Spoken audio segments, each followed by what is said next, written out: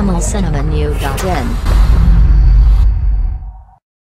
Colombia நாட்டில் இரண்டாவது பெரிய நகரமான மெடனுலில் உள்ள ஆசிரியராக வேலை செய்து வந்தவர் எகஸ்ட்ரா என்ற பெண். இவர் அந்த பள்ளியில் படிக்கும் பதினாறு பதினேழு வயது மாணவர்களுக்கு தனது கவர்ச்சி புகைப்படங்களை வாட்ஸ்அப்பில் அனுப்பி வைத்துள்ளார். அந்த படங்களை பார்த்ததோடு மட்டுமில்லாமல் தன்னுடன் உறவில் ஈடுபட வேண்டும் என்று மாணவர்களை வற்புறுத்தி வந்துள்ளார். அதிக மதிப்பெண் வேண்டுமென்றால் தன்னுடன் உறவில் ஈடுபட வேண்டும் என பல மாணவர்களை வற்புறுத்தியது நீண்ட நாட்களாக வெளியே தெரியாமல் இருந்துள்ளது. மேலும் சிறப்பு வகுப்பு என்று கூறி மாணவர்களை தன் வீட்டுக்கு அழைத்து உறவில் ஈடுபட்டதாக தற்போது அந்த ஆசிரியர் மீது குற்றம் சுமத்தப்பட்டுள்ளது. கடந்த நான்கு மாதங்களில் மட்டும் நாற்பது மாணவர்களிடம் இது போன்ற செயலில் ஈடுபட்டு வந்துள்ளார். இந்த நிலையில் ஒரு மாணவனின் தந்தை தனது மகனின் செல்போனில் ஆசிரியரின் ஆபாச படங்களை பார்த்து அதிர்ச்சியடைந்தார்.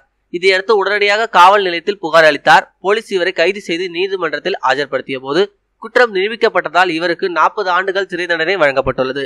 பள்ளி ஆசிரியர் ஒருவர் மாணவர்களை மிரட்டி பாலியல் உறவில் ஈடுபட்ட சம்பவம் கொலம்பியா நாடு ஊடகங்களில் பரபரப்பை ஏற்படுத்தியுள்ளது. மேலும் இதுபோல செய்திகளுக்கு லைக் மட்டும் சப்ஸ்கிரைப் செய்யவும்.